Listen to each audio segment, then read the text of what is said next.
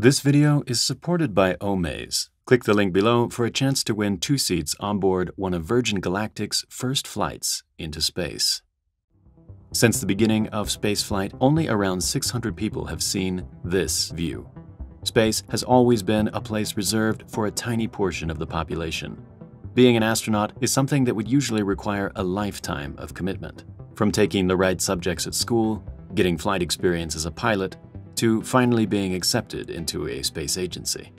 It's one of the few things in life that even money couldn't buy.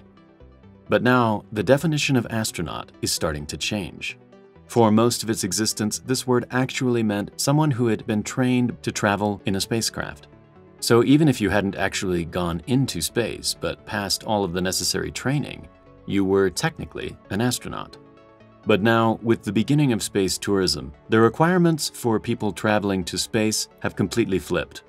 Those wishing to hop on board Virgin Galactic or Blue Origin's space vehicles will require almost no training, but they will require a lot of money.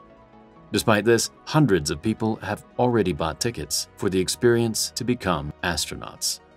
But how is this any different from the other millionaires who have paid their way into space? In 2001, American entrepreneur Dennis Tito paid $20 million for an eight-day trip to the International Space Station. At the time, NASA thought it was inappropriate for tourists to go to space, so they refused to train him. Instead, he partnered with the Russians and took a ride on Soyuz mission TM-32, along with two cosmonauts. Since then, various millionaires have paid for rides on board space vehicles. But things are changing. Space tourists are now moving away from the typical government space agencies and partnering with private companies. In order for space tourism to become a thriving industry, it needs to be as easy as booking a plane ticket. But a company can't just launch people into space without permission. Just like traditional aircraft, each vehicle needs to be approved by the FAA in order for it to start flying regular passengers. The FAA is in charge of regulating all aspects of aviation, from traditional passenger airlines to commercial space travel. Since space vehicles share the same airspace as airliners, the FAA is responsible for making sure everything is carried out safely. But the FAA's involvement with air travel is very different to space travel. It's an entirely different kind of flying, altogether. It's an entirely different kind of flying.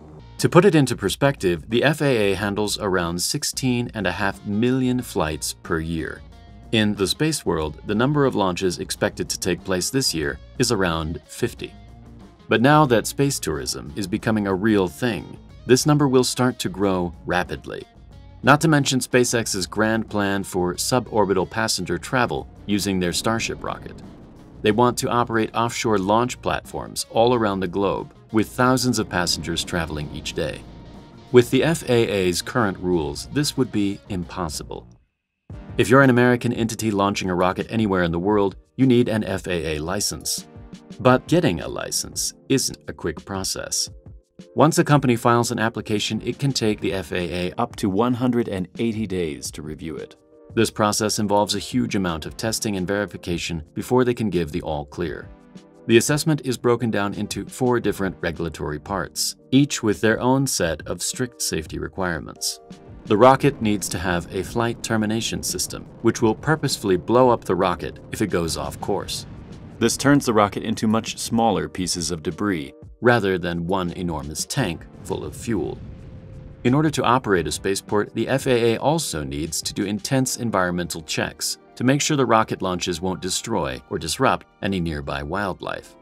Even if a license is granted, it only covers that particular rocket for that specific location assuming that the rocket will follow a similar trajectory for all of its launches.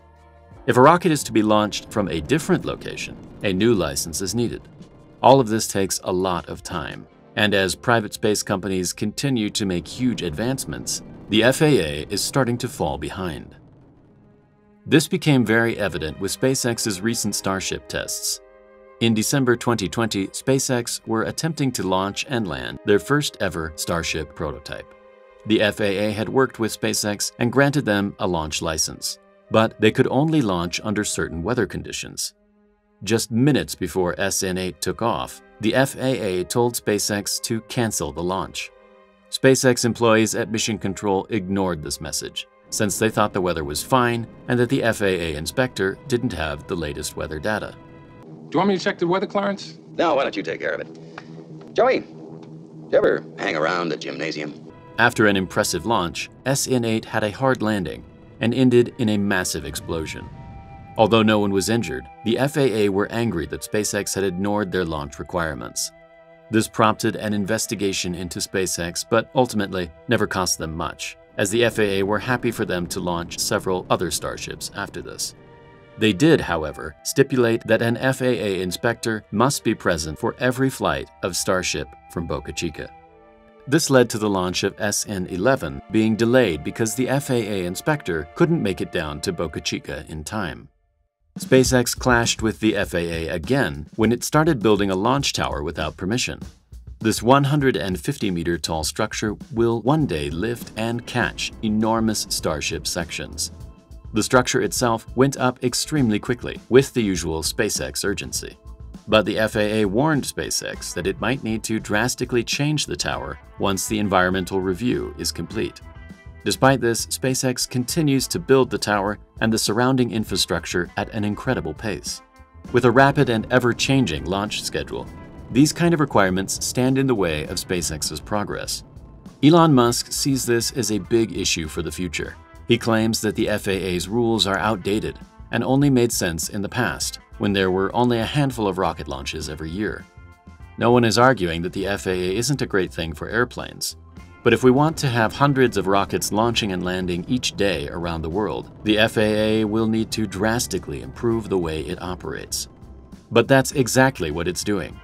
In order to catch up with the pace of innovation, the FAA is now working to streamline the process for space companies those four parts of the rulebook have now been condensed into a single part for all commercial spaceflight.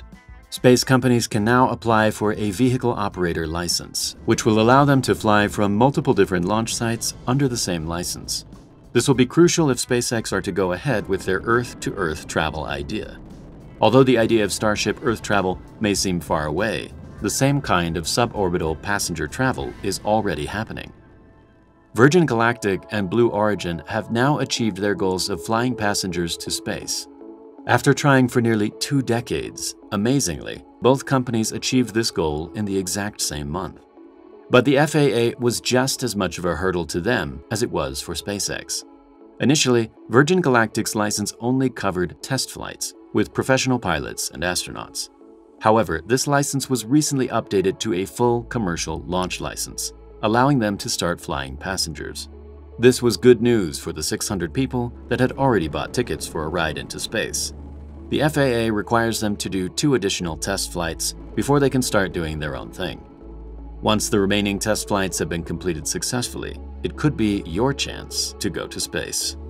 Omaze is giving away two free seats on one of the first Virgin Galactic flights to space. In the history of humanity, just 600 people have been into space, and now you could be one of them. During the flight, you and your guest will experience weightlessness as you hover above our planet at 80 kilometers, with a view like never before. And if going to space wasn't enough for you, you'll also get a VIP tour of the Spaceport America, the incredible facility from which your journey will begin for your chance to win two seats on one of the first Virgin Galactic flights to space. Go to omaze.com slash primalspace and enter now. You can choose to make a donation which will support charities by giving away life-changing experiences like this. That's omaze.com slash primalspace. Go there, donate, and good luck. Good luck. We're all counting on you. If you'd like to support the channel even more, Consider becoming a patron, where you can give your input on each video and get exclusive access to our Discord server. Thank you very much for watching, and I'll see you in the next video.